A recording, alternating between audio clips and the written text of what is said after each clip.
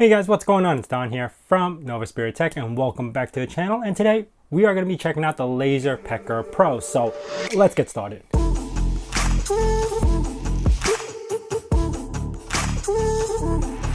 Now before we begin, I do want to thank LaserPecker for sending this product over to me for review. And I really do thank you guys for actually allowing this channel to make it to a point where I could review cool gadgets like this. The gadgets are what really impresses me sometimes because I just love this stuff. This product is available right now, so if you are looking to buy it, I will leave all the links down in the description below. There are different tiers, so I'm gonna go through those as well. And at the end of this video, I'm actually gonna show you guys what I'm actually using this product for, which I think some of you guys might think interesting. So yeah, let's get started. To start off, we're going to talk about tier one, which is their basic version. And this is the box right here for that. You actually get the head, which is the laser, as well as the tripod, and then all the connections that you go with it, like the USB adapters and everything, and also these really cool shades so you don't hurt your eyes.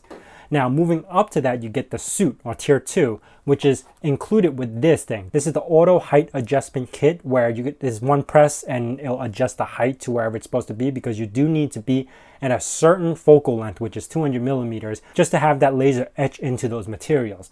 Uh, doing it with the tripod, you can. It's just a little bit annoying because you would have to manually measure the height and adjust it as you go. And then they have the deluxe version, which includes this thing. This is like a little UV lighting shield so it don't hurt your eyes. And to be honest, I wouldn't even recommend getting this one because this actually limits the range of how much you can etch. But as you can see the picture, this actually surrounds the laser etcher, which means you only can etch anything within that square. So if you're gonna do anything bigger, you're gonna have to not use it anyway. So that's why I wouldn't recommend it if you don't really need it. The last but not least, which is the super version, and the super version is the version I don't have, which comes with a carrying case just for the laser. So with that out of the way, I'm gonna show you guys how to operate this thing, and I found it to be super easy. I didn't even read the instructions. I just jumped into it and see if I could figure it out. And I mean, it is so easy. Now you do need an Android or iOS phone and you need to download their app. So I'm going to show you guys what I'm talking about. Now, first we're going to start up their program, which is called a LaserPecker. It's already saying that you need to start it with 200 millimeters. Now this laser is not started yet because if it's running, it's going to be super loud with the fan. So what I am going to do right now is actually go through all the settings and turn it on later and show you guys the operations of it. I do have another camera right over here so I could zoom in on what I'm talking about. To start off, we're going to use examples. You would choose whatever they have. You could use your own images later, but I'm going to show you that in a second. Or G-code actually if you if you have something for that matter. But I'm going to go into images and go into their logo, which is the LaserPecker uh, logo. Now they want you to set the size and you can set it to whatever you want. I'm just going to set it to 15 millimeters. And this is where I'm to start like turning on the thing. So you're to hear this kick on. And I don't know if you hear that now. You hear the fan? The fan is blowing towards the thing so you don't see the smoke coming out. Now, once I turn this on, there's a button, a little play button. This will actually adjust the height for the first use. And whatever distance it is, it'll automatically adjust it. So now I finished adjusting the height and I am to actually turn, oh well, that's already powered on, so I'm good. I'm gonna hit start preview, and it's gonna try to connect to this LaserPecker. So I'm gonna click on the one, Bluetooth connecting, now it's connected. And watch what happens. I could actually hit start preview. Oh, I, it needs my password. And you could see it actually lines out where it's gonna etch. I hope I hope that camera's picking it up, but you could see a little blue square that it's going to etch. So now you could adjust to wherever you want the paper to be.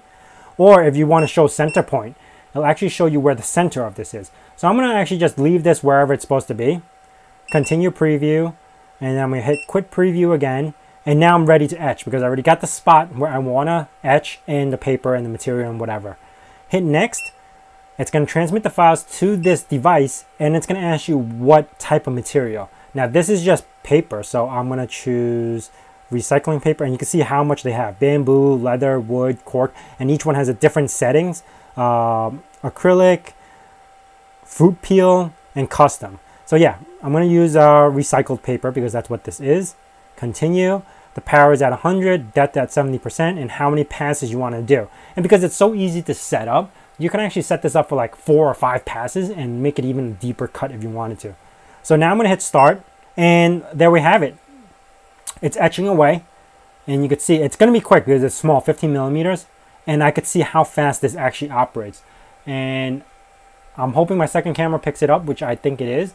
You could see how fast it is just cutting through there. And obviously I shouldn't be looking at it because it is a laser and I should be wearing those glasses, but I think it should be okay for now. It's not that powerful. I have a 40 watt laser in my garage. That's the one you want to try to avoid. So after what? This is 35 seconds, 36 seconds. I finished etching. And now I could engrave again or go back home. And here is the result.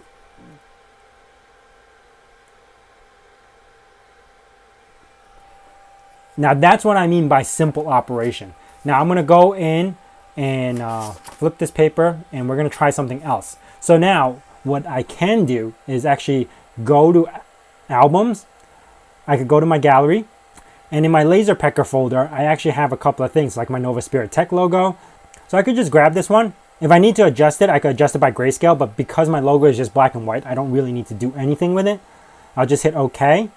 Now you can see the full design. I'm gonna hit next.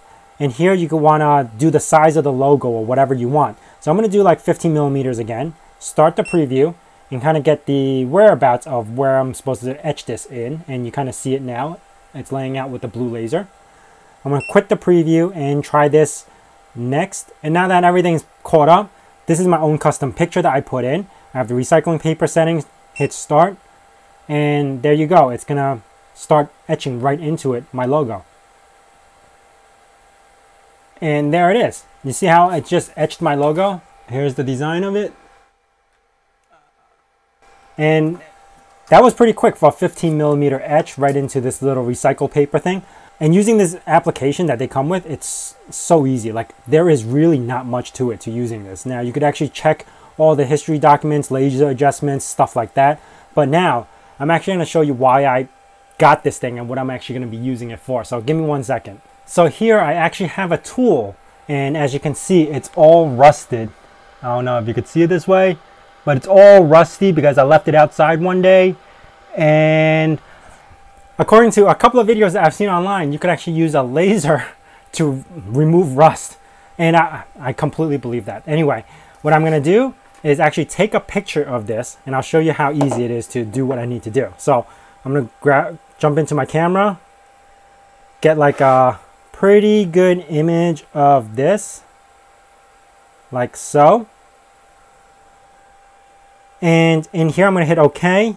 Now you can see how I have all the black layout. I could actually change this view a little and kind of grab what I need, which is somewhat right around here. And then I'm to hit next. And I should actually measure this out to see what size it is and how I would etch it and uh, the width of the actual pliers. But what I'm to do is actually skip this. I was just actually really showing you an example. So what I'm going to do is actually just take a picture of the table, hit OK, use the G code to swipe it all the way to the highest amount that you can. This way it would be all black. Okay, hit next. The size I'm going to do is 15 millimeters and I'm going to start the preview. This way I don't have to worry about adjustments. Now in here, I'm going to adjust to see where 15 millimeter is. And you can see how I'm just kind of just trying to move the pliers to that spot. Perfect. I'm going to do a height adjustment on this guy. And this will automatically go up because it, it senses how far it's supposed to be. And quit preview. Let me double check this height because what I'm going to do is just, it's not level. So I'm going to do this Yeah, that seems more like it. Because it was actually hitting the hole. Now I'm going to get a good focal point. Hit next. File transfer, recycle paper. I'm actually going to change this to custom. Confirm. Make everything 100%. Start. And it's going to grab this and check this out. It's going to start etching it. And this light is much brighter than what it was before. And it's a lot slower too. So I'm going to let this run and we'll see it at the end of this if this actually worked.